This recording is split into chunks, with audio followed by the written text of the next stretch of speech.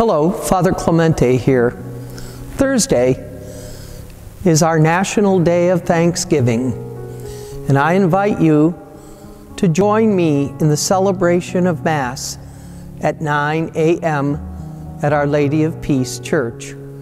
It's a wonderful day to begin with the Holy Eucharist.